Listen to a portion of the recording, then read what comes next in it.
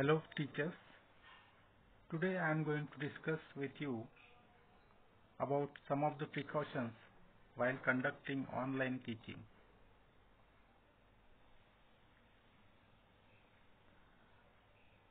So when you doing some online teaching and learning remember it's different from the regular classroom and it is conducted online so many other elements even watching your lessons. It's not happen with the classroom teaching and learning because it's happen only between the student and teachers. But since it's online platform, so there are many other stakeholders like parents and uh, school uh, authorities, even they are watching this. So you should be more even careful about it.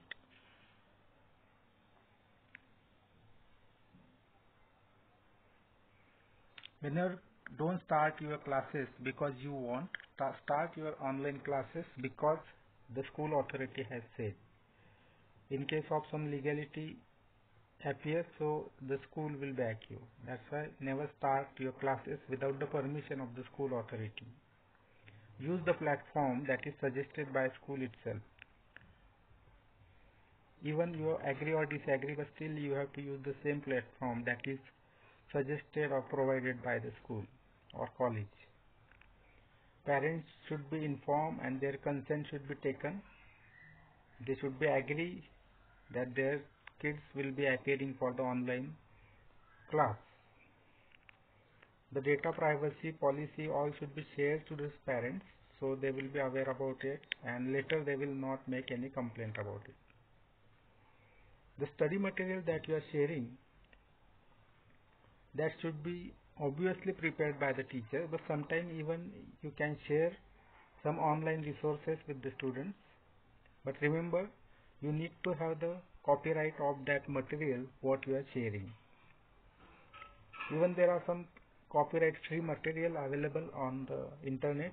You search accordingly and share the material. Otherwise some legal issue may appear. If you are sharing some videos see full video and then only share with the class. In case of YouTube videos which are not allowed to download, so tell your student that just observe the or watch the videos not to download. Share the genuine link of the videos only and share the official links in case of any channel you are referring because there are some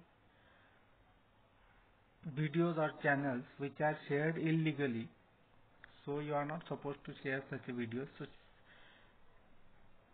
be careful when you are sharing some youtube videos link those should be official only. In case of sharing material do not share too many resources per day to the students. You should be consider the number of pages to be shared with the students number the length of the video that is that is shared with the students even all the audio file or ebooks. Don't expect that students should be available there for 24 hours. Consider this, this is a 30 minutes period and the shared resources which will be learned in the 30 minutes not more than that because see mobile and uh, that handset or the laptop is not all time available to the students even you cannot expect student to sit all the time with the laptop or the mobile so even that is that care should be taken. Consider 30-40 minutes period and then share the resources. So uh, do not share uh, if you are teaching a new concept. So give give some time to retain the concept to understand the concept. Don't just every day put a new concept. Let them learn the concept because how we do in regular classes do similarly uh, in the online classes do not consider what you have shared that has been 100% understood by the students. Instead of just sharing the PDFs, ebooks and audio video files, even share some activities so they can do some activities by keeping their mobile aside. So don't keep engaged with the students with the mobile only. Instead of this, share some activity so they can prepare something. So some creativity can be considered. Uh, many groups are closed to interact on the side of the student so open it if not for all the day but maybe for the specific time of the day. And then you can tell them to ask their questions. So it should be a two way process. It should not be one way process. Only teachers are sharing something and you are not listening anything from the student. In a class you observe students and you uh, come to know whether they are understanding or not. Even students are allowed to ask the question encouraged to ask the questions that's not happening if in the online process. So it will be one way process and the learning will not take place. And we know that if there is no learning there is no teaching happen. So always try to get the feedback even it is online process. Sometimes in even online conferencing teachers mute all the students and uh, they deliver the lectures. So in that case it will be just one way process. You will not come to know whether students are understanding or not. So in case of online conferencing in case of whatsapp group keep it open for the students even so they can ask the queries they can share the feedback and you will come to know whether you are going on the track properly or not all subject teachers should have coordination to share the resources. You cannot overburden the students. There should be coordination who's how much material shared by the each student each teacher. Otherwise students load will be too much and they will not able to understand anything. So only teacher will have the satisfaction that they have shared something but on the students part they will not come to know anything. So just think about the learning load of the students when you're sharing resources consider that students will not have that mobile phone or that laptop computers all the time with them. Consider the network speed. So do not share too many videos. Do not share too big files. So the students network connection and their internet speed should be considered. So keep the minimum size of the file that you are sharing and remember these online classes are not the full-fledged schools. These are the alternative these are the options to the formal schools. These are the alternative. You are using it because students cannot come to the schools.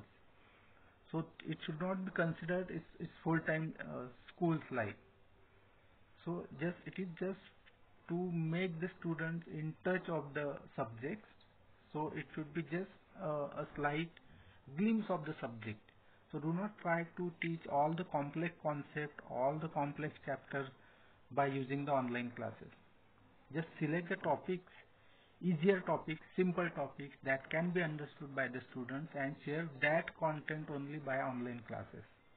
All the concepts, all the chapters cannot be taught in online mode. That has to be one-to-one face-to-face interaction. So do, this is the opportunity to make the student in touch of the teaching and learning.